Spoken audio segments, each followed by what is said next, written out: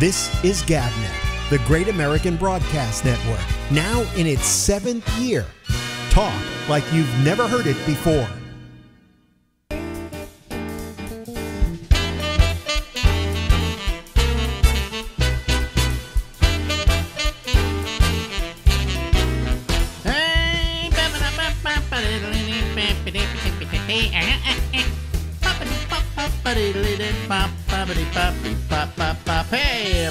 Everybody, I'm Alex, and this is The Ramble. Yeah, and we go until midnight tonight from New York City. Going up to Worcester, Worcester, Worcester. Worcester, Worcester, Massachusetts. Uh, it is uh, Stephen Kravitz, ladies and gentlemen. Um, are, y- uh, are you doing any comedy anywhere? I may be doing this uh, this uh, Beth's Cafe here in Worcester. I may be doing it soon. I'm I'm still talking to them. Yeah, because the thing is that uh, uh, I wonder. It's been a while since you've actually gotten up on a stage and done comedy, right? Right, Right. right. It's been a while. Well, I have this fear in my life that I have forgotten how to drive a car. Okay, does that make? Well, I have this fear I've forgotten how to be funny. Well, that's exactly what I was going to ask. If I'm afraid of not being able to drive, are you afraid that you're going to get up on stage and forget your craft, or do, or do you think it will come back to you as what what we call memory? You know, uh, they call Right, but well, you know, the thing is, like Slayton just posted something on Facebook about how he's going to do uh, flappers in Burbank, and he said he'll do as much material as he can remember.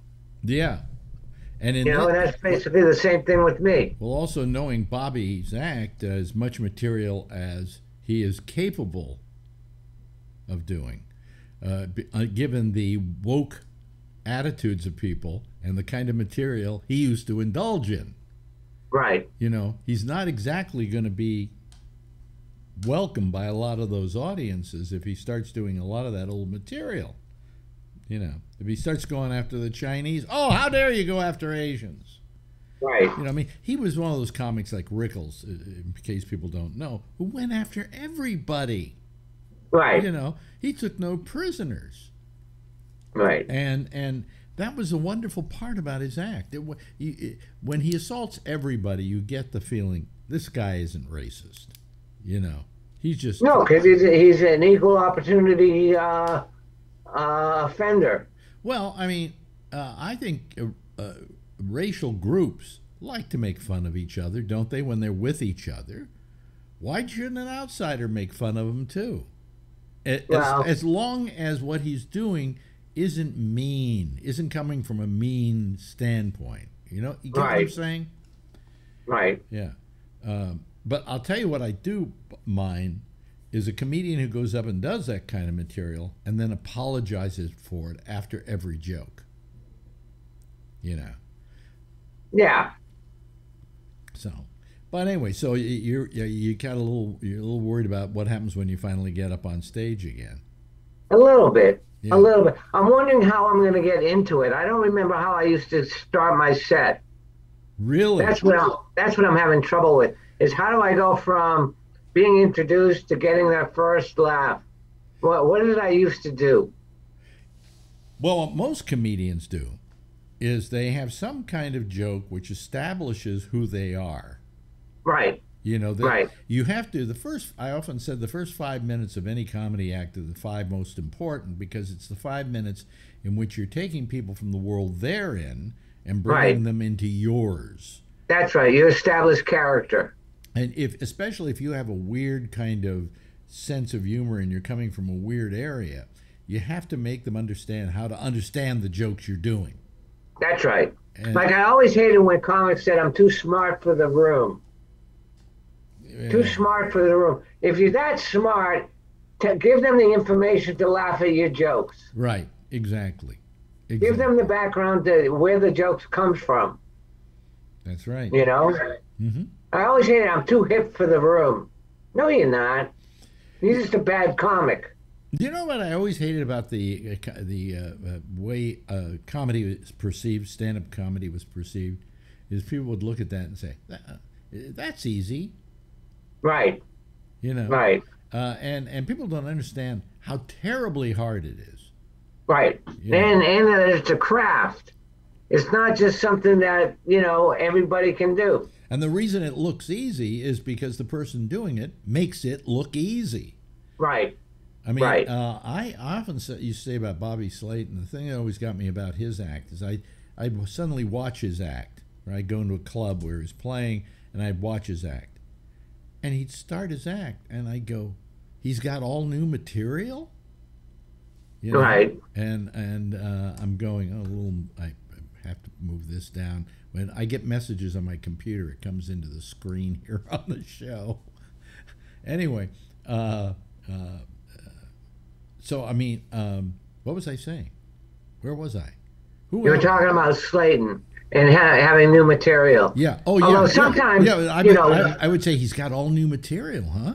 And he go into something, blah, blah, blah, blah. He come from a, every time he started his act, he would come from a different direction. But once he got into the meat of his act, they oh, this is the act I know by heart. Right, You know. right, right, right, right, right. Sometimes one new joke can light a spark in your whole routine. Mm-hmm. Yeah. You know what I mean? Yep. Especially if it works. If a no joke works, it's the greatest. Then you got to figure out where to put it. Does it go in the beginning of the set? Does it go in the middle of the set? Does it go at the end of the set? You know, where does this joke fit best? Yeah. How good is it, and where does it Right. fit? Yeah. Yeah. Did it get a laugh the first night because it was fresh and got no laugh the second? That's just like when I was starting out. Yeah. You know, I'd go to one club and I'd do a set and it would kill. And I'd go to another club and do the exact same set and it would bomb. And that's when I realized that each each audience had their own rhythm. You know, I had to even though I'm leading the audience, I got to listen to their rhythm. Is it like it's like jazz, Alex? Yeah. Well, It's what- very much like jazz. Would you would you take your act and you have a whole bunch of jokes you're going to do, a whole bunch of routines you're going to do, Right. uh, and uh, and all of a sudden you're playing the audience and you have an innate sense. Most good good comedians have an innate sense of the of the crowd of the audience. Right. And all of a sudden you realize, well, you're, you're automatically editing in your mind while you're doing your act. Sure. Uh, do you ever then? Or I have to go in a different direction. Yeah. Do you then sometimes ditch a planned joke because you know it isn't going to land on that audience? Right. Really? Right. Sure. See, Sure. so- You you edit while you're on stage. Yeah. So I want you people to understand that th- this is what does not make it an easy craft to do. Because you're constantly editing in your mind while you're up there. You're judging the audience. You're feeling the temperature of the room. I mean, all these things play into how you do. And, um, you know, I think you could probably take the best comedian around, the guy who you figure is bomb proof, like Jerry Seinfeld, and ask him, Have you bombed recently?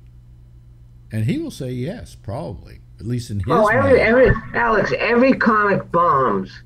It's just that the longer you do it, the less times you bomb.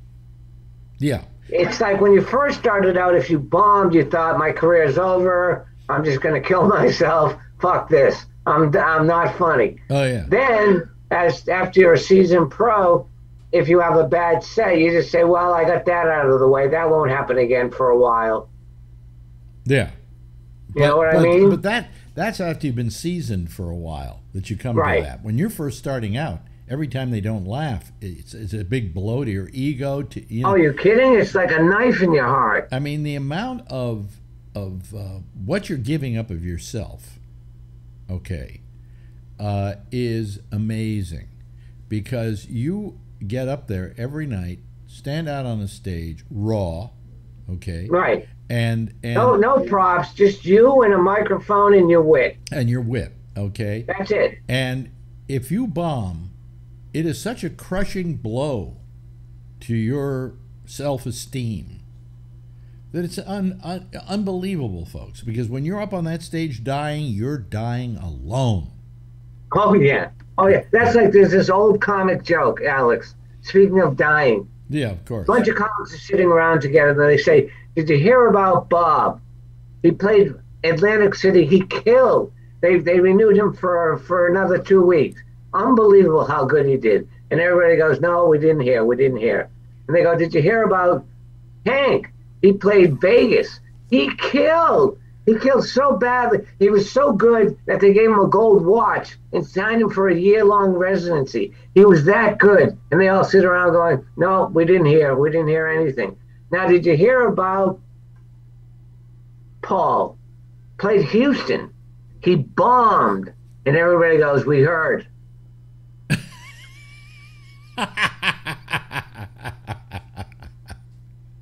yeah, yeah. It's it's right.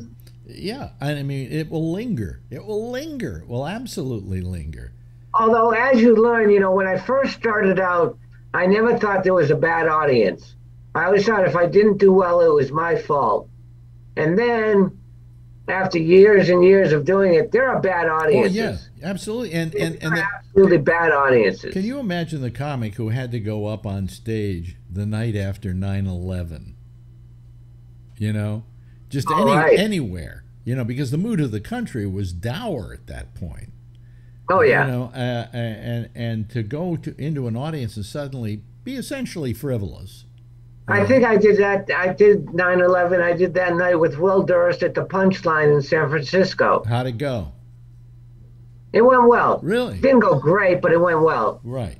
Probably would have gone better if there hadn't been a 9/11. Well, a lot of things would have gone better if there hadn't been a 9/11. Yeah. I'd like to do a comedy show by starting off and showing uh, the carnage in in uh, Ukraine, okay, and then saying, "Now here's Stephen Kravitz." Oh, great! and see if you can, see if you can overcome the mood of the room at that point. Well, that's like Alex Way. When I was like really confident, I would play a room that I knew I was coming back to, no matter what. Mm-hmm. I was going to get rebooked, and I would sometimes start out in the hole. I would just kind of like start out with negative stuff and see how long it took me to bring the audience around to my side, just as a little experiment. As an experiment, yeah. Well, well, you know what's great is a room that knows you. Okay, I mean uh, Seinfeld is kind of bomb-proof only in that he's Seinfeld.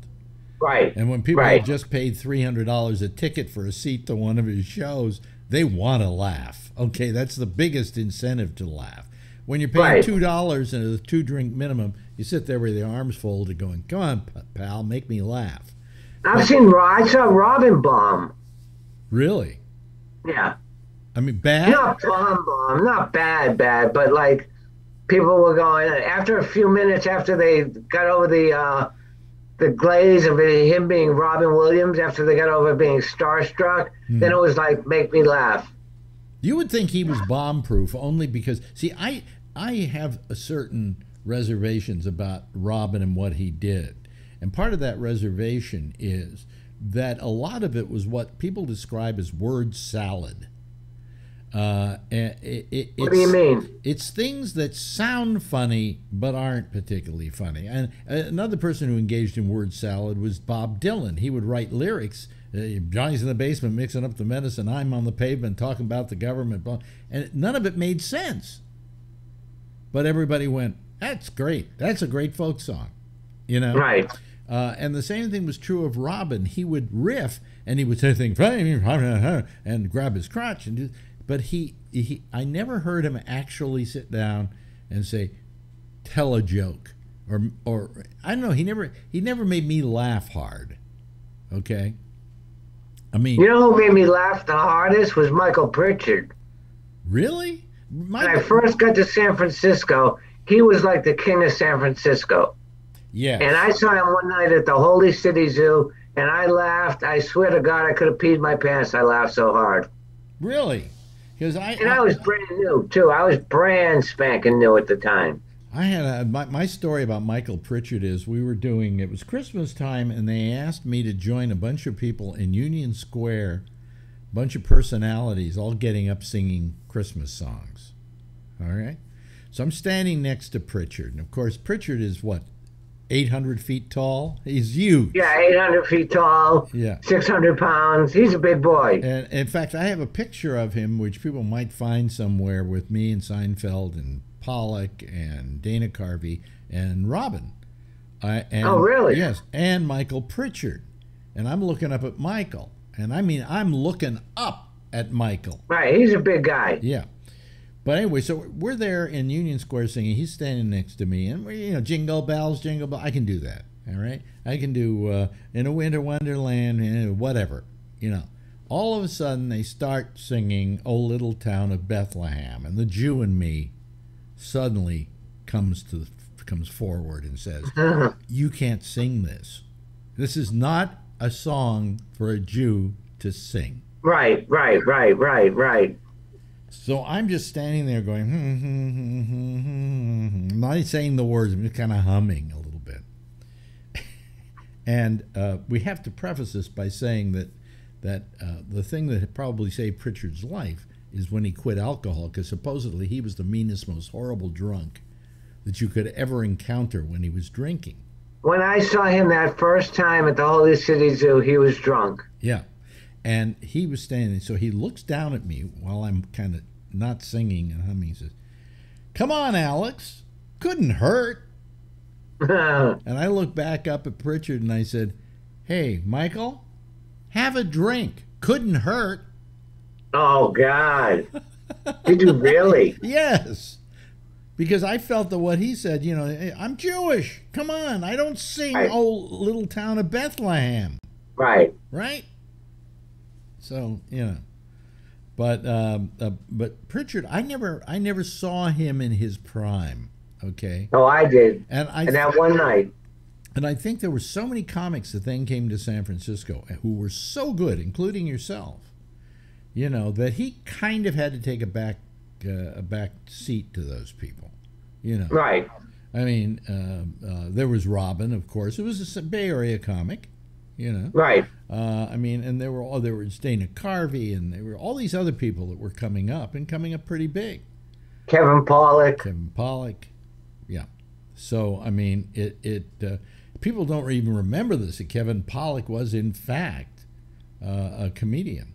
In fact, An impressionist. in fact, I had they did a roast of me when I was first at uh, I was at uh, I think I was still at uh, the Camel.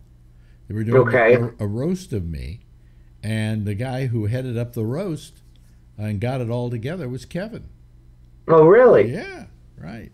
You know, so uh, it was uh, a little early in my career to give me a roast, but what the hell? I I said okay. Right. You know. That's like we roasted, we roasted, I forget who we roasted at the other cafe. And we had a meeting before the roast. hmm And Chip Miller and Bob Ayers were asking the comics what they had prepared. And he asked me, and I said, I have nothing prepared. You know, so mm-hmm. he was kind of like put off by that. And then when we got up on stage, because I had nothing prepared, the other comics roasted me instead of me roasting the comic that we were roasting because I had no material. Do you remember who the comic was you were roasting? It was either Durst or Gonzo. Oh, okay. All right. Uh, I'm not quite, I'm not, I can't remember which it was. which reminds me, I have to call Durst today. You know, I haven't called him in a couple of weeks. He's hard to get a hold of because sometimes he just Yeah. doesn't answer his iPad. So, you know, Well, yeah. No, he's had a rough couple of years. Oh God, you know. I mean, it's the worst thing I think that can happen to a comic is having a stroke. Because you're going to lose one of the abilities that you need. You need Right. you need to be able to stand up and you need to be able to verbalize as perfectly as possible. Right. You know, now he's Well, he, how's his, isn't his speech excellent? his speech is fine. He still So, you know, I mean, don't forget, Alex, I performed a lot near the end of my career sitting on a stool. Well, I told him, I said, if you come out in a wheelchair and start doing your comedy, number one, you'll be different than any other comic. And secondly, there's no way they're going to heckle you. right. You know, They- you, you've got a certain safety net there, you know, and you can still do your material. You've still got Right. timing. You've still got observations. You know, they probably Right. building up as you've been lying in that bed for these many years. So I hope somehow he makes some kind of a comeback because I, I miss him so much. You know. Yeah, me too. Uh, The community misses him. Well, he used to do the show on a regular basis, and he's smart, and he's you know, I mean, no, he's not the best comedian that ever lived. Okay, neither are you, No, and certainly never, not, never said I was. certainly not me. I'm not a comic at all, although I have stood up on a stage for 15 minutes and killed. But it was, and this is what I was going to bring up. It was with an audience who knew who I was. Right. And so all I had to do was like hit on certain things which I said on the radio, which were funny, and people would laugh because they'd heard them before. you right. know? So when I went on stage, I I always was very confident when I went up because I never I never actually bombed. I just you know I had this built-in crowd who came to my concerts to see my friends the comics. Right. And Alex, it was really hard to bomb on one of your shows. Oh, they, they people there loved comedy, and they, Right. and they love. And the thing is, the reason you didn't bomb because you were on the show, and Right. That, and that's where you established who you were. And the hell, Right. hell with the first five minutes, you didn't need it. You, they already Right. knew your meter, your tone, what you were doing. You know. Right. And and they just wanted you to do well. They were rooting yeah. for you. Oh yeah, absolutely. So you know, uh, I I don't think I can't think of any comedian at any of my shows who ever really bombed. No, Because I they- can't. because they had already been pre-sold to the audience on my radio Right. show. Yeah. And yeah, and we had a pretty strong. Well, you had a very strong fall. I mean, people would get up at four o'clock in the morning to be in your studio. Yeah. Yeah. Yeah. Those were the good old days. That's, I have a, a quote uh, from uh, the movie The Roaring Twenties. It's on my. You have to put a little quote on your Facebook page, right? And my Right. my quote is, "I used to be a big shot."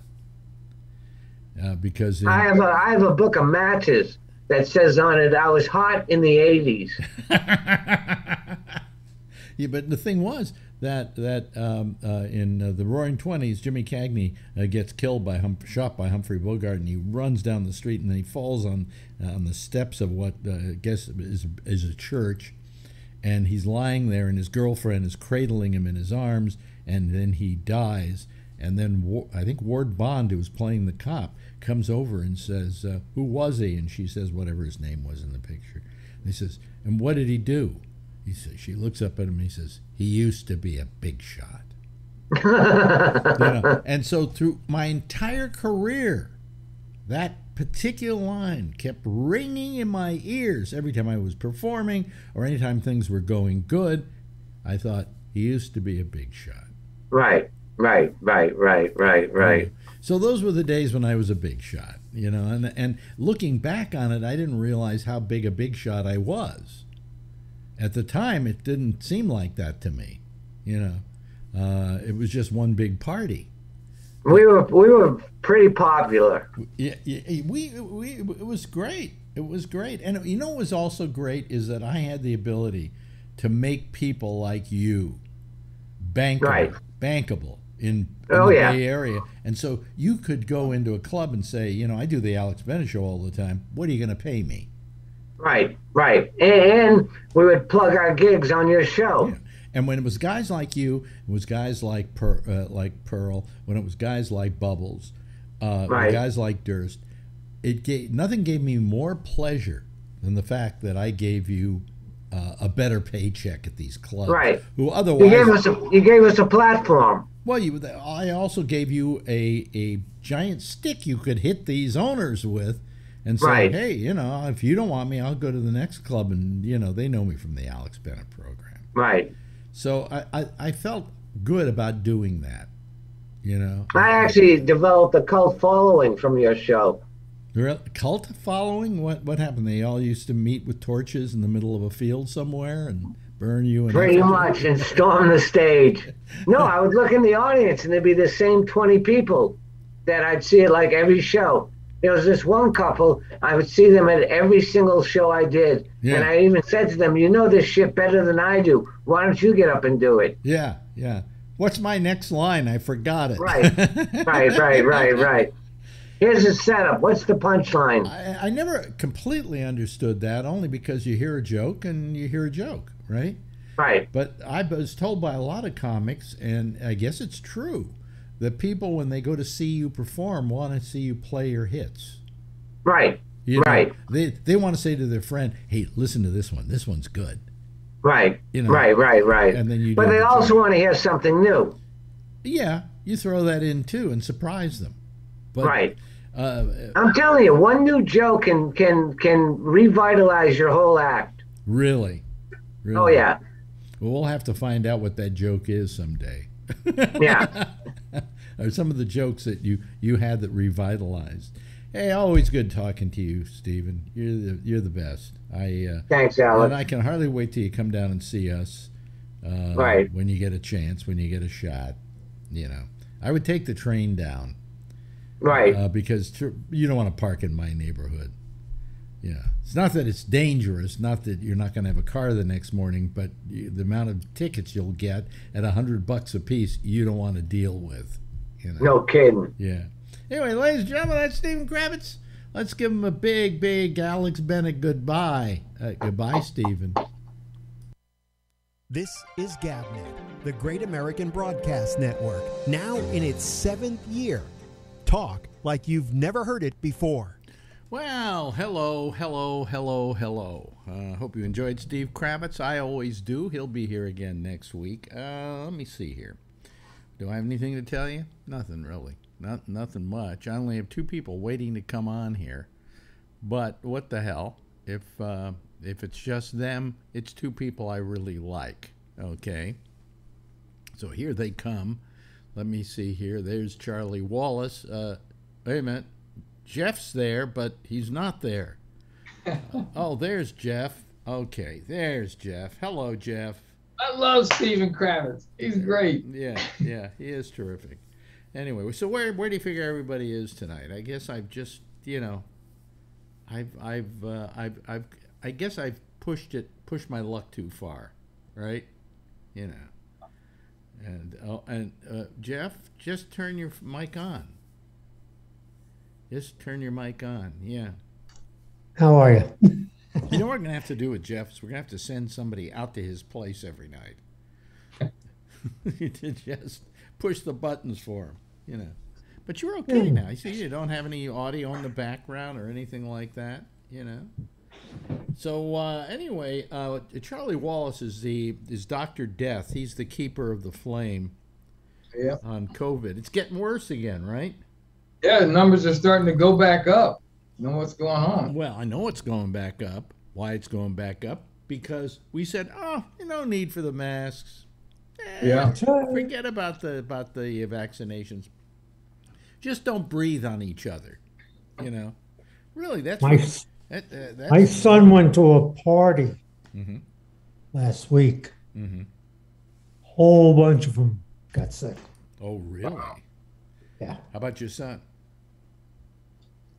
he thinks he's okay. Yeah. Well, we went to a ship. We went to sit Shiva the other day, uh, uh, which I, it's hard for me to say sit Shiva. I tend to want to say shit Shiva. Um, Yeah. But we went to this Shiva thing and uh, thing. what kind of Jew am I? We went to the Shiva damn thing, yeah. Uh, but anyway, we went to Shiva and uh, there were a lot of people there. Nobody was wearing a mask. So I hope that I didn't sit Shiva in order to get COVID. That's what I'm worried about, you know. But I wasn't about to wear a mask because nobody else was. And, uh, you know, if everybody else is swimming naked, I guess I'm going to take my clothes off too, you know. Hello, Alan. How you doing? I'm doing uh, pretty good. How are you doing, Alex? I'm doing all right. You know, uh, I, I went for another walk today. Today I walked a mile and a half. Okay. Didn't get dizzy or worn out? No, I'll tell you what the problem was. I'm having trouble with my back. My back hurts when I walk, and uh, I I think that's maybe just from not walking for a long time. Yeah. So I'm just gonna Yeah. I'm just gonna do it every day and push it. You know, maybe do a mile, do a little bit more than a mile if I can, do a mile and a half like I did today, and How about the first couple weeks every other day and build up your strength mm-hmm. that way? No, I I I want to torture myself. As long as the weather is nice. The problem is the weather has been so sporadic. Today it was beautiful. It was like 80 degrees. Tomorrow mm. it's going to be 60. You know? Yeah, but it it rained here for uh, Oh, it rained here too. for like a, a half an hour, an hour, or something yeah, like that. Yeah, yeah. You know, I mean, the weather has just been ridiculous. Just been, you know. But anyway, so I took a, you know, I took a walk today, another walk today, and, uh, um, uh, you know, um, I'm trying to, I'm trying to get my stamina back up again. I mean, come on, it's been two years since I really had some good walking. Every day I used to take a walk. Well, I, I did during the pandemic. I took walks. So um, that it's about about a year since I was walking every day, and I would do about a mile and a half every day. Just take the walk, and it, I didn't breathe heavy, and it, my back didn't hurt or anything like that. And now it's like I go, I'm two blocks down the street. Can I make it to the third block? You know, it, I guess I guess that all has to do with uh, COVID and you know whatever. I don't know. But anyway, so COVID numbers are up, right? Yeah, Yep. Yeah. Yeah. back up. Yeah. Yep. How many deaths in the United States today? 814. 814. Doesn't s it's, it's not a lot compared to what it was. No, but it was only like 500 last week. you Yeah. know? now, now let me ask you this: uh, It's uh, what? How many people have had COVID so far? What's the current number on that? Because we're Uh, we're going towards a million. Yeah, it it uh, have died. Yeah, we've got 988,000 deaths. Nine A hundred billion eighty. people around the world have had COVID. Well, that doesn't matter. We're talking about deaths now. That's yeah, You know. but six million have died around the world. Yeah, right. Let me see. How does that compare to uh, the Spanish flu? Spanish flu, I think, was something like 50 million, wasn't it? worldwide. Yeah, Yeah. But then that was a time when we didn't have antibiotics, we didn't have uh, uh, intubation, we didn't have all, all the things that we have now. So you know, it's less only because we have the some of somewhat of the knowledge. Although in the beginning, remember, we had no knowledge at all. We were just, you know, You know what stopped it? People wearing masks. yep. I if think we that didn't if we didn't if we were a smart people and we and we had not come up with a vaccine, if everybody wore a mask for a couple months, the virus would just go away. yeah, but but the vaccine didn't hurt either. No. No, the No, it's a- vaccine, I it's a think, is big- what nipped it in the bud. At least Yeah. it stopped it from becoming a deadly disease. You know, Well, I don't know, almost a million people in this Yeah, country are dead. It's good. pretty deadly disease. Well, yeah, but I mean, it, it the the uh, the, the uh, deadliness of it has subsided substantially. I mean, people now still get it, but they just get sick, and that's Yeah. it. I mean, I- Well, obviously that isn't totally the case because if we have 800 people today that died, Mhm. People are getting more than sick. They're Well, dying. Well, how many of those people were They're not vaccinated? vaccinated. We're the ones that are dying are not vaccinated. As a rule, that's correct. Yeah. Yeah. So, I mean, eh, what we're talking about is the vaccinations change the whole Oh, dynamic of the disease. You get your fourth vaccine, Alex? oh, yeah. Yeah. I, I, in fact, uh, here, I'll just to prove it. got mine. I believe you. Hmm, Well, I just feel like I got mine too. I feel like proving it to everybody. I bet Jeff got his too. See, No. see here. No. wait hold on a second. No. Can you see? Oh, yeah. Can you see that where it says Yeah. four? Yeah. Yep, says four. God, Um, And if I go deeper into this thing, it shows my vaccination details. And uh, see, I have all the vaccination details of where I had it, what lot number it was, and everything. So, anyway, so y- y- y- you got yours, right, Jeff? no, I, matter of fact, they're telling me not to get it yet. Why? Why? Well, because I had a problem with another medication, and they're not quite sure what medication really caused some problems that I had. Mm-hmm. And they're trying to clean out some of the medications that I'm taking. Yeah, but what? Well, how? But isn't this a different kind of thing? This is a vaccination. This is not yeah. a daily pill you take. You know. They think that the medication will affect your vaccinations. Yeah. Oh, they're thinking that some of your, oh, some of your, some of the stuff you're already taking will affect the vaccination as opposed to the other Yeah. way around. I see. You Yeah. you gotta you gotta have the complex stuff, and you pay extra. Yeah, yeah, yeah. Yeah, well, I'm trying to cut down on my my medicine. I take I'm taking Oh. way too much medicine, you know, and so I got rid of one, and I'm going to try and get rid of another, which I think I don't need. It's a it's a booster for my statin, which my doctor gave to me at one point because uh, all of a sudden I went in and he said your cholesterol is off, the roof, and we've got you on a statin and you're you know you're you're you're, you're it's off the roof so here take this other thing and it will it will it will amplify the the statin okay so i started taking it. All of a sudden i looked in my pill box and i realized that of all you know i make my pills out for a whole month. And the one pill i had left out was my cholesterol pill just before i went down and got my cholesterol from the doctor. So I really don't need that, you know, statin that is kind of a, uh, a booster statin. And that's kind of an expensive drug, so I'd rather not take it at all anyway.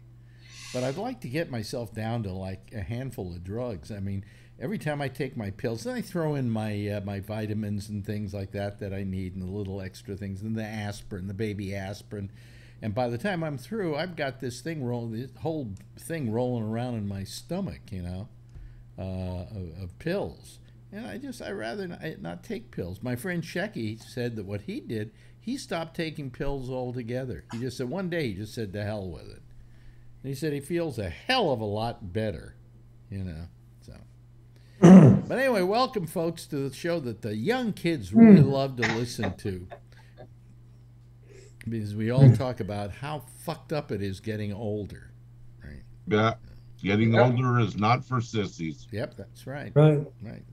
So anyway, so uh, um, you know, uh, here we are. We're all gathered here tonight. You know what I saw in, on in, on Drudge tonight, and he loves this kind of headline. I mean, it makes him.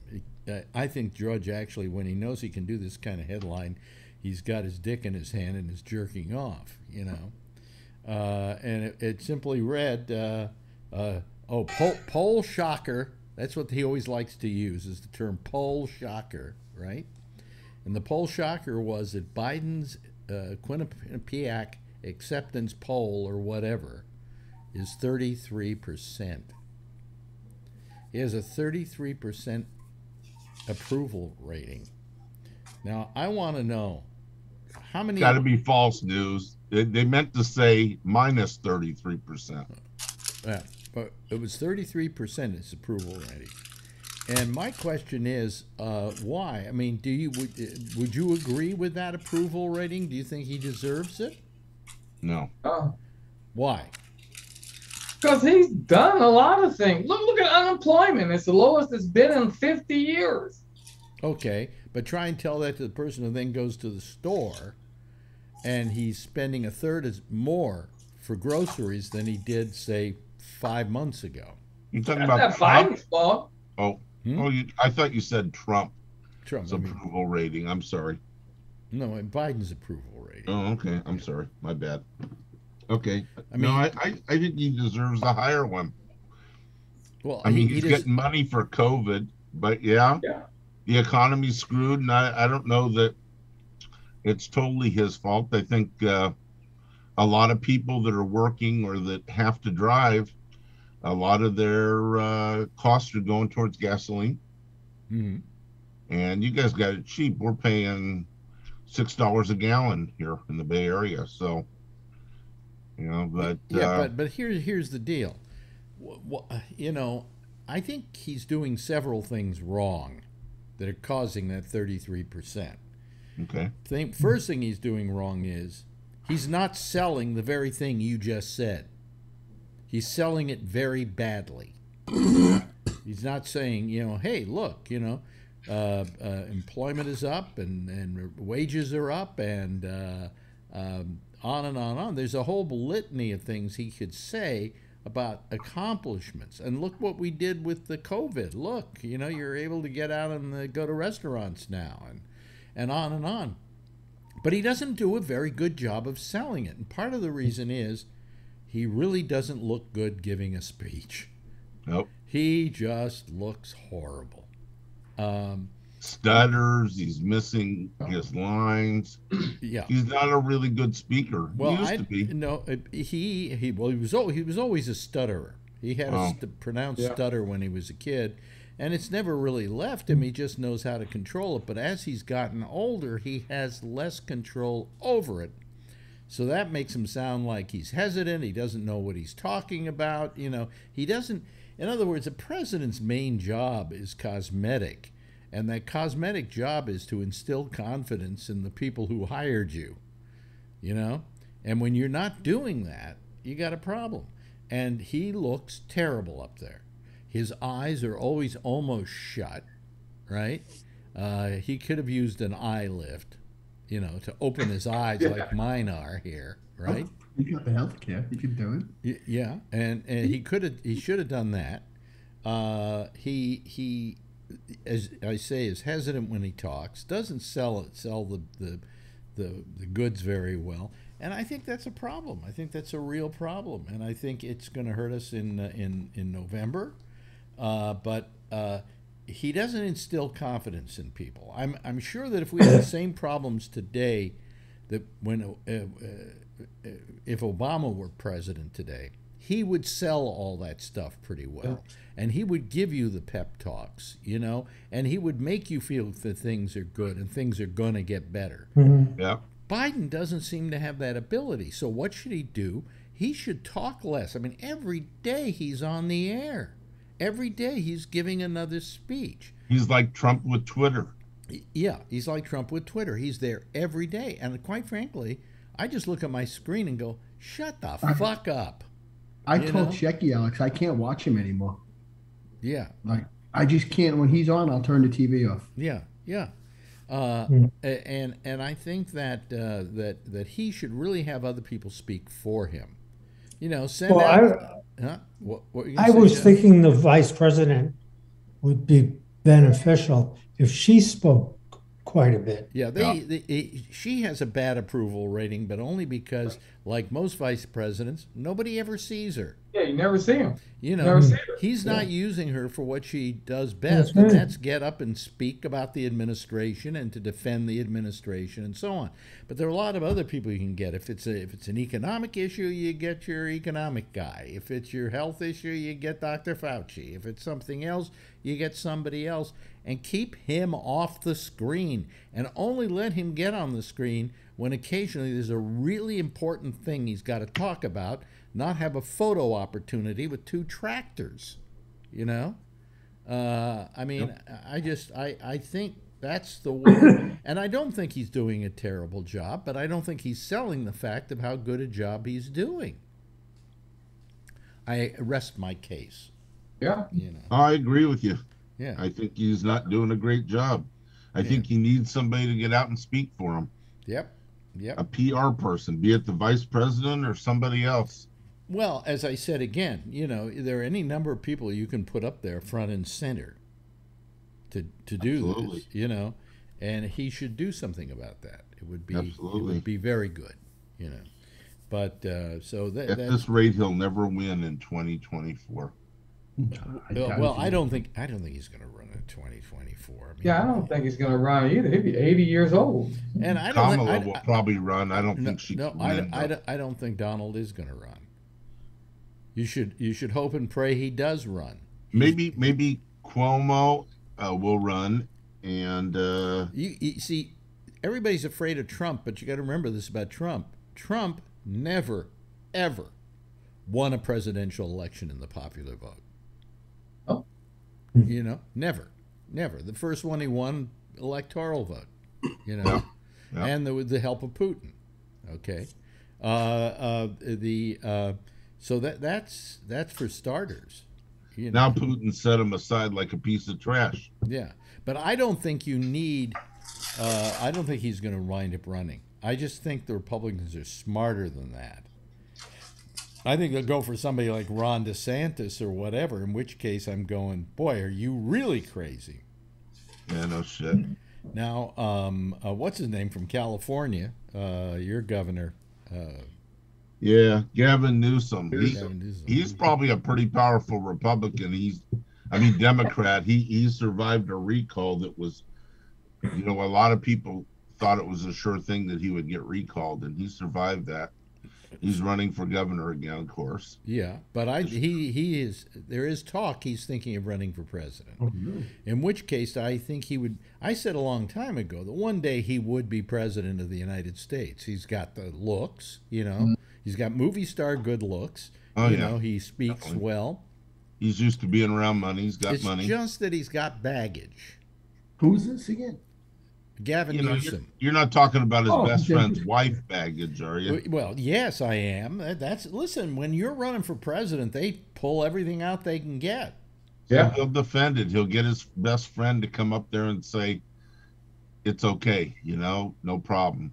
Uh, so- di- didn't he, didn't he wind up marrying her? Uh-uh. Newsom? Newsom? No, he just Uh-uh. he's not seeing her No, anymore. he was just he? banging his best friend. He was banging his wife. best friend's wife. Yeah, well, I That was while he was mayor of San Francisco.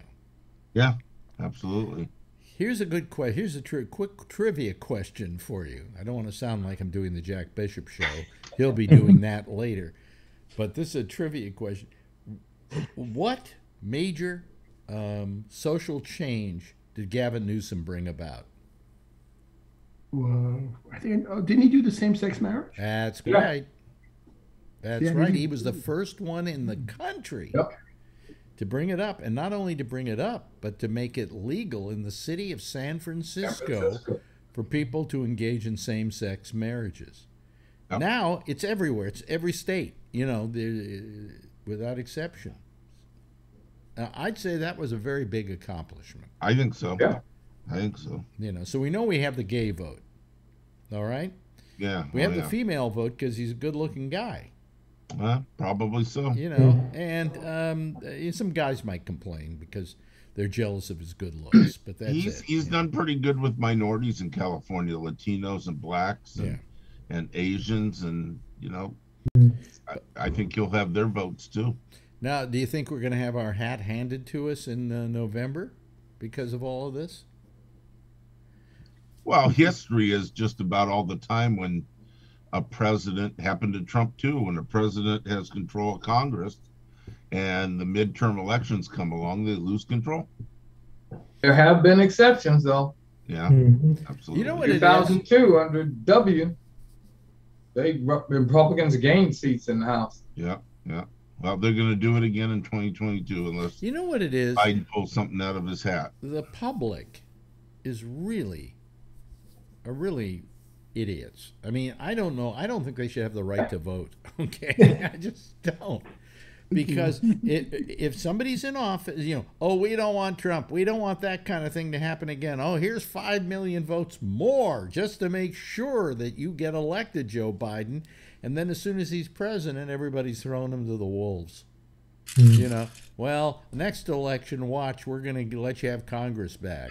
You know, to me, one of the weird things of the Republican Party, they love to say how great Trump was. Yeah. Trump had control of the Congress his first two years, didn't he? Uh, yep. And and he couldn't get his wall built, and he couldn't get uh, uh, the Affordable Care Act stopped, and he couldn't get a lot of things stopped. Well, he thought he could do everything by writing, you know, these. Uh, Well, he was used to that. That in business, you do that. He, he's the boss. He says what happens. Congress got got in the way of everything he wanted to do. well, you know, he they, he would write uh, a, uh, a pro- proclamation, and it would go. He would think that that was the only way you could get things done. The fact is, when you write those things, the next guy who comes in, because they're not written in stone, can simply reverse them Right. And sign his own proclamation. And Biden's reverse done that. We we rejoin the. Uh, Uh, yeah, yeah, yeah. NATO and all that. Yeah. What you really Yeah. want to do if you want to be effective about it, let's say uh, you don't want this particular thing, you send it to Congress and you get it passed and you make it a law. right. Then it's not so easy to do away with, you know. Right. But I, I just think we're we're a nation full of idiots. If you want my opinion, uh, and I uh, I'm really ashamed I even live here. to be honest with you, I always have actually. I just felt we haven't been You've always lived here. Or you've always been ashamed. I've always been ashamed. I've, I've, been ashamed of being an American. I, for most of the time of my time here on this planet, you know, the only time I think I liked being an American was when I was in grade school and they had me sing the Pledge of Allegiance every day, and I thought everything was hunky dory. But then all of a sudden, I'm in my, I'm in my teens, and they have the House Un-American Activities Subcommittee, and people are losing their jobs because they're accused of being communists, and I'm going, what the hell's going on here?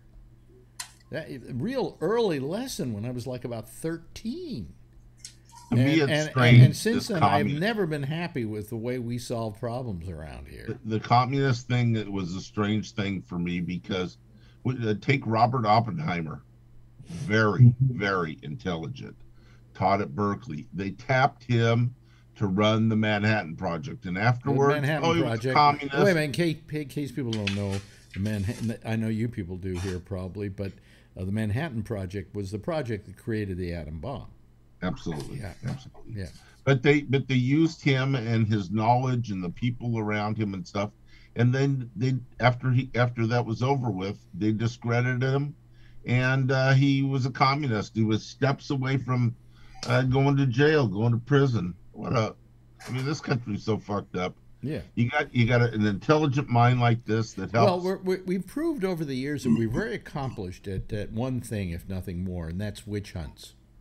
You know, I mean, we're doing it right now. You know, with all these people that lose their livelihood just simply because they wrote a tweet uh, uh, ten years ago that wasn't up to snuff.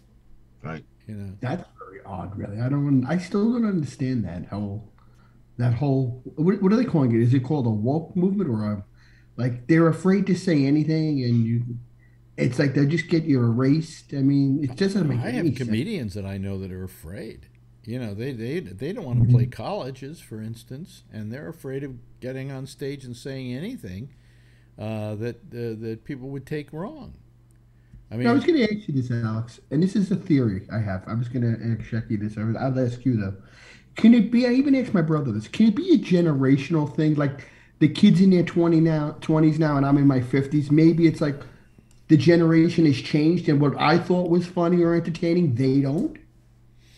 I don't know. You know, I'm not a kid, and I don't know what they're thinking. Because I'm not a kid anymore either. But I'm wondering, like, all right, I'm a kid at heart, but it's like maybe we're not the same generation, and it's just like they're offended where I'm not. I don't know. You know what I'm saying? Maybe I'm just old now. Well, to begin with, I'm not even a kid at heart. I'm an old fart. Okay. All right. Let's get I mean, let's get that straight right now. I could say I was young at heart, but you know, it ain't going to get me laid, so it doesn't matter. Okay. But here's a Oh, question. by the way, that statement, that statement, by the way, is not woke. And uh, if I had anything to lose by doing this show, uh, that would probably put me in the category of unemployable. I Just I that little joke. I, don't, oh, I just don't get it though. Really, I don't. Maybe it's just. Well, maybe you, I. you know, we, we just lost uh, Gilbert Gottfried. yeah, I heard and, and, and Gilbert, uh, Gilbert, uh, I think it was Bill Maher. I saw him uh, being interviewed about the death of Gilbert, and he said uh, Gilbert was um, uh, just a medley of bad decisions when it came to what was politically correct or incorrect. That he didn't really care, and he didn't stop to think about it. You know, he just said, "This is funny. This isn't funny. I think I'll go do it." He was at the Hugh Hefner roast on uh, Comedy Central, and he started off. This was about three days after 9/11, Oh, I heard that and one. he out. and he starts off by saying, uh, "Gee, I." I, uh, it's very hard for me to get a flight out to California, but if I do get one, it'll probably stop first at the uh, at the Empire State Building, you know, and things like there were a bunch of jokes like that, and nobody was laughing, and now the audience was booing at him, and that's when he Yeah. decided to sell, tell the aristocrats joke to take the heat in another direction, you know. Yeah, that was on Kimmel last night, right? Yeah, and then he Yeah. also talked about the other time that he got in trouble with Aflac because of, of- because of a tweet that he had about I think about China or something. And you know, really, I always hated Aflac for it because who cares what somebody writes in their tweet as long as he's not having the Aflac, he's not doing it in the voice of the Aflac duck. You know, why should you even care? Plus, somebody Yeah. did say you know, I, I think at one point they finally realized they had hired a comedian. You know? You know? So, Yeah. so I mean, that was a guy who always went off the deep end, and in many cases, it cost him a lot of money. You know, he lost a lot of money on that Aflac deal. And it was the, Well, easy- the easiest gig in the world. I asked Uh, How much work is that, Alex? What he's got to well, do? I to- asked Gilbert. I said, "So what happened? You went in, you said Aflac once, they Hmm. recorded it, and then every time they did a commercial, they used the Aflac, and you got a new paycheck for it because it was a new use of that." And he said, "No. Every uh-huh. time they wanted another Aflac, they brought me back in." Yeah, and he would go in and do exactly the same voice with the same inflection, and they say, "Okay, now the, the- take take two, Aflac. Okay, goodbye, Gilbert. We'll see you next week." It was something he said he thought about power, you know. Yeah, Oh, so you got to come in to get paid.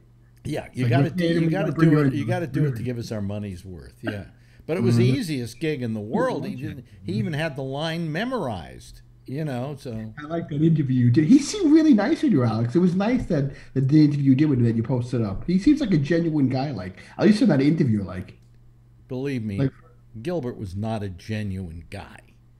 Oh, Gilbert was a strange little human being who was very likable. Anyway, he seemed that way. Like he was very, like, you know. but anyway, so um, Just remember, he created his business when he was what, 16 years old? what business? His, when he started. Oh, he started in comedy when he was about sixteen. Yeah, he, in fact, he quit. He quit high school to do it. Yeah. Yeah. I mean, it just didn't, it was what most people matured in certain increments. Yeah, He he jumped yeah, too much that a lot of stuff that he he never even decided I'm not going to do that. yeah. What the heck? I'm just a teenager. Yeah, well, uh, well, he, he, you know, I, I, I think he was amazingly successful, amazingly I successful. did too. But anyway, I don't want to talk about him now. Yeah. Makes me sad. Um, But anyway, uh, also the other piece of news today, and uh, this is the one that everybody's talking about. You know, they love to find one story, and everybody loves to talk about it. Is uh, Elon Musk and the potential for him buying Twitter? Oh, he's still looking for it. Yeah.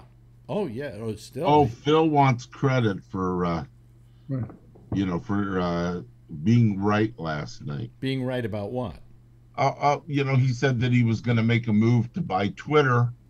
You know, and but but that didn't take any thought because No. you know, uh, I mean, the, the the the the business community figured he was going to make a move to buy Twitter. Uh, No, we, uh, that was what I was arguing him about. It was whether, whether he had uh, stayed on the board or not. And I said no, he had quit the board, and I had thought that he was going to give up his He- stock, Yeah, but he, he wasn't on the board his at stock. all.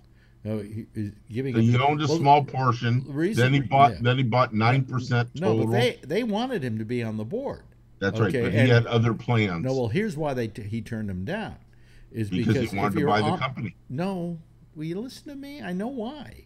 Okay. All you do is read this. He turned it down because he didn't like the fact that in order to um, in order to be on the board, you were required not to be critical of Twitter, and so he didn't want to be have that thrown on him. He- Well, you know, when you're on the board, that you they limit most board of directors in companies to how much stock you can own too. Yeah, that's what I heard. And and in this case, I think it was 11 percent was the maximum, and he was at nine, and he wanted more of the stock. well, I- I And don't so think uh, it was- that's why he turned down the board. Well, no, he supposedly turned. No, he said he turned it down because of that. Because I he- heard an interview he- he- on on CNN with him last Well, night. he so- changes his his Yeah, oh, that's for story sure. all the time. But uh, He makes this offer, and then he doesn't know if he can afford to pay for it. Mm-hmm. no, Didn't he- matter because Twitter will turn him well, down. he's offered forty-eight mil- billion dollars to buy Twitter, right. uh, and where's he going to get the money out of Tesla? Okay, which has to be okayed by the government before he does it because that could affect the stock on Tesla. Yeah, but then, Uh, but Twitter, if they haven't already done it, they'll turn him down. It's a game. Well, I mean, he can go for a hostile takeover. Well, that's what he's trying for. Yeah, but They I- they, they didn't say we're for sale. quite frankly, if he asked my opinion, I would say, don't do it. Don't buy it for forty-eight. That's right. billion. Buy Facebook. I mean, 48 billion for Twitter. You, what are you getting? You're not getting a terribly successful company. You're getting a company that has a lot of people using it, but they're not being charged for using it, and they haven't they haven't exactly gotten the advertising to go along with it. So. Uh, it's not a good buy. I mean, I that could actually, if how much is he worth? Two hundred and twenty-five billion dollars, I think it is. I think he's the richest person in the world. No, Putin is. Uh, Well, We don't really know what Putin Well, in has. fact, Putin in fact, won't uh, admit it. Elon, what what'd you say? Uh, If Putin won't admit how much money he has. well, he probably has a hell of a lot less right now. Um, you know, and and we're uh, how can he have that much Bitcoin and stay afloat? But You know, the, the- the the- poor guy put out a ship and and and and the Ukrainians sunk it with a couple missiles today. well, there, Yeah. I saw a guy today who was a, uh, a, a, a in the in the Navy on one of these shows, and they said the number one rule you're taught at Annapolis, the first rule is never lo- never lose your flagship. yeah. and that one sunk to the briny deep just a few hours ago. Yep. Caught fire, Yep. and they're trying to. Uh, what's his name? Putin is trying to say, "Oh no, no, no, no! They didn't shoot us down. It just caught fire, and there were a lot of munitions on there, and that was it." No, what? How? And we caught- were in a rough storm, and that's why it went under. How did it catch fire? I think because some Ukrainians shot something at it. They hit it with two harpoon type missiles. Yeah, I mean it's it's a it, that is amazing story of the day. I just think it's amazing how the Ukrainians are preva- prevailing. They actually, the Ukrainians actually developed this device, the missile, and you can you can shoot it from about 20 miles away from the coast mm-hmm. inland, and it'll go out 190 miles or something like that. Yeah, well, And it- it's made specifically for a, a, a surface to ship. You know, no. if I were Putin, I would get out of the Ukraine, uh, get out of Ukraine as fast as is humanly possible, and I'll tell you why. Uh, and that is because it's making Russia look really bad. Now, I don't mean that in the way you think. Of course, they look terrible in what they're doing to Ukraine, but they are so militarily screwed. They are so militarily inept that they're showing that Russia is not a force to be reckoned with. Mhm. You know, when this little puny nation, right, can shoot, uh, can sink uh, your flagship. It wasn't just any flagship. It was called the Moskva, which means Moscow. It was named after the capital city of Russia. Glug glug. Kevin, what do you what do you think? We were talking about this the other night privately. That you know, I think we take Russia too seriously, don't we? Yeah, looks like it. Yeah, yeah. I think we should just go over there and bomb the shit out of them. Yeah, well, I agree. I agree. and I'm, I'm, I'm. No, I saw a meme today that showed that what they say. They said, uh, "Oh, the warship was just promoted to submarine." That's cute. That's cute. That's cold. wow. Yeah, yeah. It's true. Uh, you know, it's always nice when you hear something like that. Um, what did I see here? Somebody wrote something, and I'm trying to remember what I saw here that somebody wrote on our our chat. Hold on, let me see here. Uh, uh, nah, I don't know. I don't. I don't see it. I, I'm trying to remember what it was. Uh, but uh, you know, um, I, I, I just uh, you know, I just think it's uh, uh, that what's happening over there. We're just we're gonna have to answer to a higher power someday about the way we handled that. You know, I mean, what, you, you come to the rescue of people where where genocide is concerned, and where um, uh, uh, uh, they're trying to he's trying to obliter- obliterate them. Uh, it's just you know it's terrible, and we don't do anything about it. What happened to our good guy status? You know, I guess Yeah. it doesn't really matter, you know. So, well, thank you, folks. Nice having you here. Goodbye. What? Yes, Charlie. I wanted to mention you mentioned about the chat. About I did get an update today from Will Will Durst. Oh, I, that's GoFundMe. what I wanted to talk about. Yeah. Yeah. Yeah. yeah. Um, I talked to Will today. Hmm. I haven't talked to him in a while. And I, uh, I asked him how things go, and he said, Well, he said, the leg is still killing me, but we know why now. Mm-hmm. Now, his leg, they've been keeping him from going home because his leg has been just, he's been in great pain with his leg. And they feel it was also a result of the stroke. And he, they've been going on with that theory for what, maybe a year or something? A year, like he said. Yeah. Yeah. In the update, yeah. And all of a sudden, he goes to the doctor one day and says, Oh, this leg is killing me. Look, do me a favor. Will you just take an x ray of it, a simple x ray, and take a look at it? And they looked at it and they said, Oh, you've got a broken hip. what? He says, Yeah. He says, I have a broken hip, and they have to replace the ball socket. And I'm going, you mean for an entire year they've kept you in that hospital bed because you can't walk? And all along, he says, Yeah, I asked him over and over again, Will you just take an x ray of it? Take an x ray of it. And finally, this one doctor, you know, wanted to just calm me down and said, Okay, what, what can it do? We just take We'll it. humor him. And they took Great him. way to get an found he- He had a broken hip. I mean, a great way to get an infection.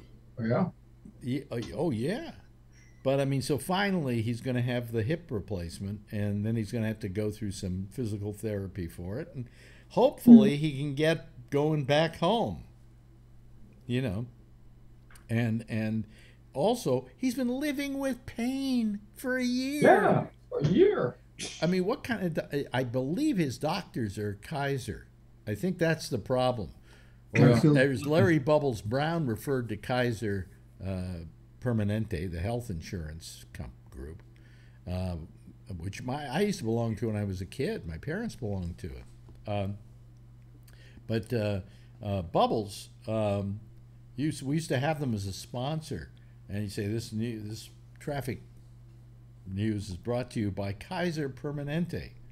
And one morning we almost lost them because he said, "B- Kaiser, uh, also known as doctor assisted suicide.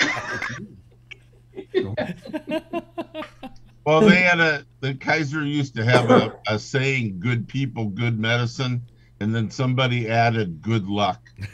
but I mean, you know, I mean, how, how, what, what kind of moronic doctors do you have that don't say, well, you know, let's at least look and see if there might be something there? You know, I mean, take X-rays. How easy are X-rays to take? Yeah. You know, uh, hell, I go and have X-rays done on my hand, and they just put my hand in something for about two seconds, and I go into the other room and they they look at it. You know, uh, and all it's it, it really it only proves that most people, if you if you have something wrong with you, take charge of your own medicine, and insist that things be done. You know. And don't mind if the doctor thinks you're a pain in the ass because the one time you're not a pain in the ass, it turns out that they you you you came up with the answer, you know. So anyway, um, so uh, let me see here. What else? Anything else happening? What else is uh, is new? Oh yeah, and then we got this. The RSS Left Club, huh? Is that the new name of the ship? yeah, yeah. But um, Love Club. Also, the other thing uh, today, the other thing's been happening, happened here in New York, and that's that guy in the subways. Who, Yeah. Who Can't get over that. you, you can't get over it? Why were you on, were you on that that he- subway car? Why can't Why can't you get over it? I told my brother the city's cheap, Alex. I don't believe he called himself in. They better give that reward to those people. No, he called himself in, and he should Did you get. really do that? He was charging his phone at McDonald's. Wait a Come minute, on. a he called from McDonald's. He said That's he what was they say. he was running out of charge in his phone, but that he's at that McDonald's. Come and get me. Okay. And when, Uh, when they and, went, there, he and- and my there. immediate thought was, well, then doesn't doesn't he get the reward? That's what You I know, thought he wanted.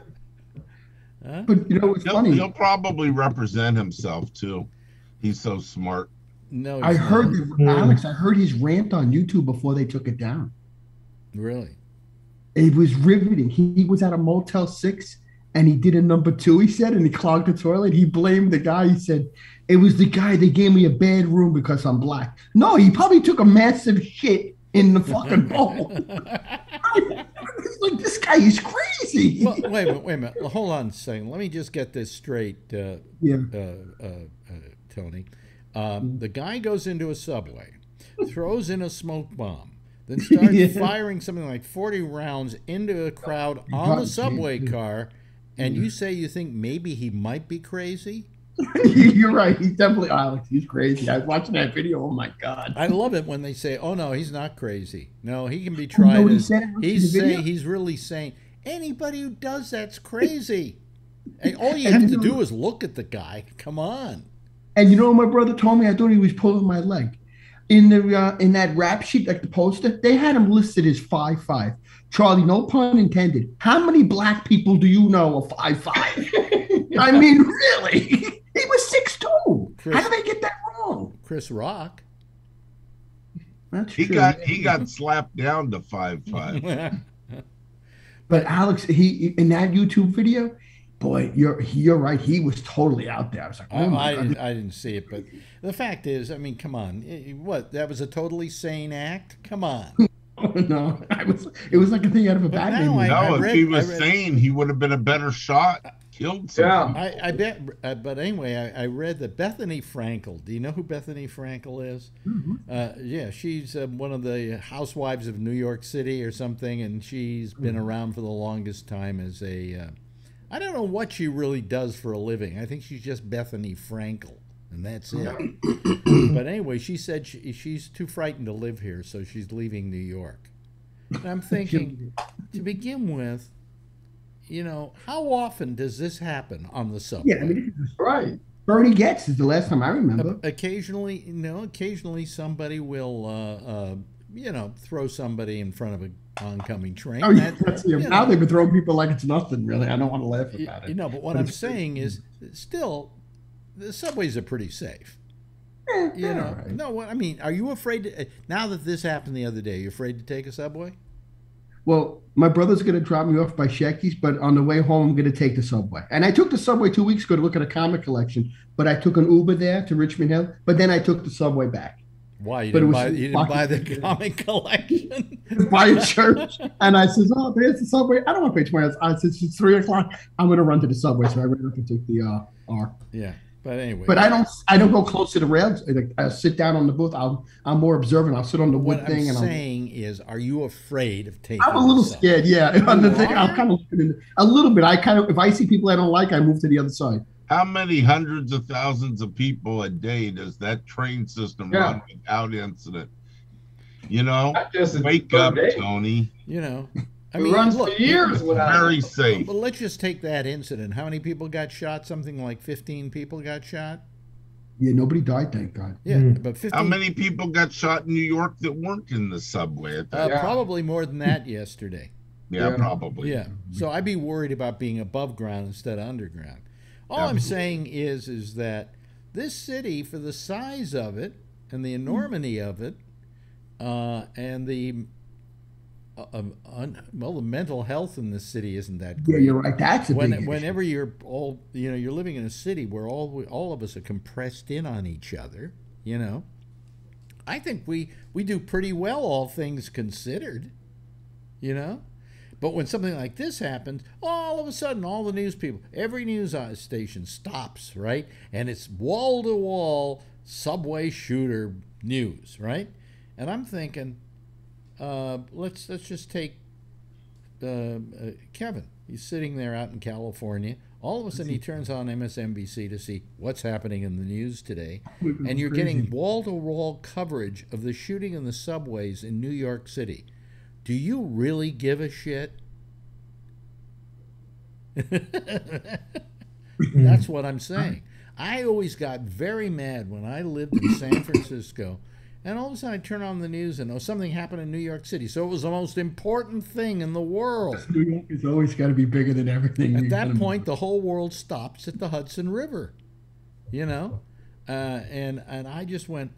Somebody's sitting out in Omaha, and he, he's watching this, and he's going, "Okay, but can I find out what's happening elsewhere? Yeah. Can I find out what's happening in, in, in Ukraine again today? Can I find out what's happening in Washington? Can I, you know, there are a whole bunch of other things we could be talking about. I mean, you care about what's going on for a little bit, but then you find out and then you move on. but you don't want to hear it for the next two hours. No, and that's what happens anytime something happens. Yeah, and then and then And they you get to They're watch aware. it over and over and over. The same train shot from somebody's video and, and, camera on and, their there, and, phone. there, is- and there's no new news, so they have to pretend like there's always new news, or it might break at any moment. And it's always breaking news. That's what drives me nuts. What they- Everything is breaking news all day long. if I, The uh, same I will have to hand it to CNN. I went over to CNN and they were doing other news as well. They, I like were. CNN. Yeah, they You know were what I was other wondering? news. I know this may sound stupid. I wonder if he did have a Big Mac though down there. I was wondering what he ate. What do you mean? He, I'm sure. Why does it make a difference? It's I just the want to fact. know just for shits and giggles. What did he have? well, he only had a couple of dollars on him, so he probably had to get the Happy Meal. Well, you could, I, you know, imagine you get the toy surprise, you went nuts. I'm getting out of here. Ready, move. Yeah. What do you want to be, Alex? When I You didn't know, get my Tony, I said, "Well, I he ate in myself- McDonald's after he did the crime. I So you can't blame. McDonald's on the crime. Uh, it just goes to show you those. It's the dollar meals. You could eat at McDonald's and have like no money on you, really.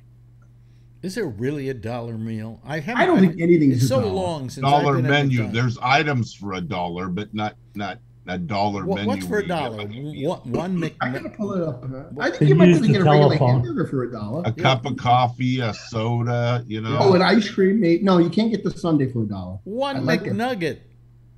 Oh, I love the nuggets. Yeah, you can't even get an order of fries for a dollar, can you? I love those greasy Uh, I Do fries. you have any idea Yeah. what those McNuggets are?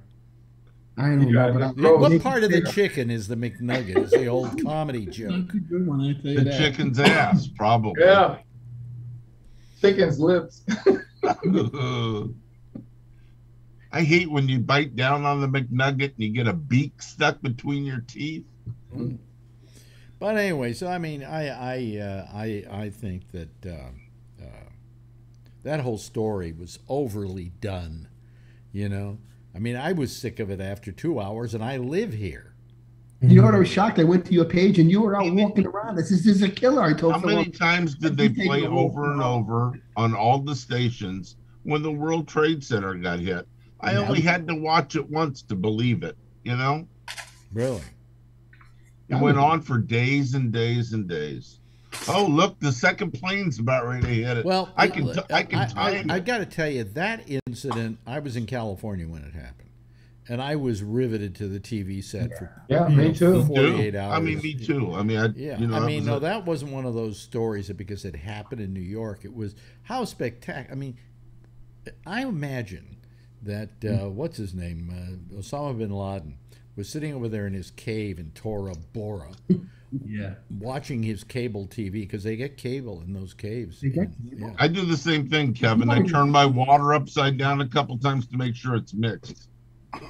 But Alex, you think he, there's a no big you- chunk of ice in the bottom. Oh, okay. Do you think he would have thought those towers were going to come down? Well, no, what I'm saying is, is that he sat there and he saw these towers coming down and going, "Oh fuck, how do we do that?" Well, the terrorists, according to what the news said, the terrorists thought that they that they would do damn. The planes would hit and knock part of the tower over. Really? Nobody, Nobody Really thought thought that that was going to happen, and um, nobody, and nobody just- thought it was going to collapse. not just one, both of them. Yeah. Okay, so there were two of them that went. down. That's a, a structural failure. The heat, yeah. uh, you know, with the with the the the structure, the metal, it overheated But the I- but- metal, and But I think it was absolutely amazing. I think it was just incredible uh, that, that that happened to that extent. But the fact was that that was that was a pretty spectacular event. That that was Oh, not like a, that was not like some big fat guy going down in the subway and shooting fifteen people. You know, absolutely. this was like planes hitting those towers and them coming down like you know just pancaking all the way Very down. sad. Very sad. Very sad.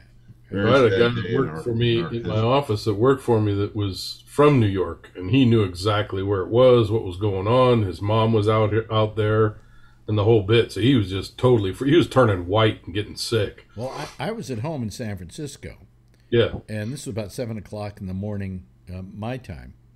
And all of a sudden, my phone, I'm sleeping, and my phone rings, and I pick it up, and it's Shecky, my friend Shecky. And he said, Are you watching television right now? And I go, No. He says, Turn it on. I said, When I turned it on. And he said, uh, And I said, What's this all about? He said, A airliner plowed into one of the World Trade Center buildings. And I went, oh my God. I said, wow, how did that accident happen? He says, nobody knows. And then all of a sudden, as I'm watching TV, the second Oh, plane goes slamming into the tower. And Yeah. my Yeah, first words, my first words out to Shecky were, well, I guess it isn't an accident. Nope. Yeah, Alex. My dad wasn't at the trade center that day, but he worked there. I saved his badge when, when he retired. So, Mhm. World Trade Center, Yeah. yep, Church Street. He knew his his uh, boss died. He went in to get the people out, Yeah. but he never came out. But- the only person in his company died. Yeah, but my joke, my joke at the time was that uh, you know, there's part of me that goes, "This is a horrible tragedy," and the other part of me goes, "What a great aesthetic choice," because there was nobody that loved those buildings Mm-hmm. in New I- York City. I was in them in 1999 when I was visiting New York. They were ugly. That- Somebody once referred to them as the boxes the computers came in. Yeah. You know, I like the way they looked. it was an Alex, ugly. what was it that was- antenna were- on top of the roof? Do you know? what? Was that the, the antenna on top of the trade center? Was that a radio antenna, or is that Those just? were te- those were te- all the television Television, stations. yeah, that was York the. Television, radio, all kinds of I always remember when we used to drive by. I remember seeing that In when you see the picture. it in fact, big I antenna. knew I knew somebody who who knew the guys. There was a guy. They always sent guys from the TV stations and the radio stations up there to watch the transmitters, and uh, Oh. several of the TV stations and radio stations lost people in the World Trade Center collapse because you know. That's, I have I have a friend of mine. His name's Frank Martin.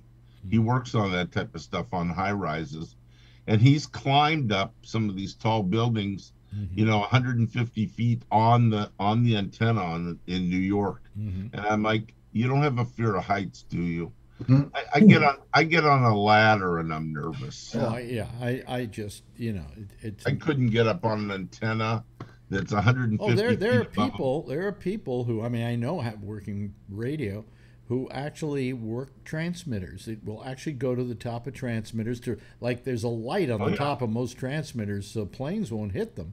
And Yep. they, the light goes out, they go up there. Uh, yeah. you know? Change the bulb. And I'm going, boy, you could never get me to do that. That's one of the jobs I just would not want to have. This, this friend of mine had access to the Hancock building in Chicago. Mhm. and we were there for an event. And we all went to dinner in the in the building. A huge lightning storm.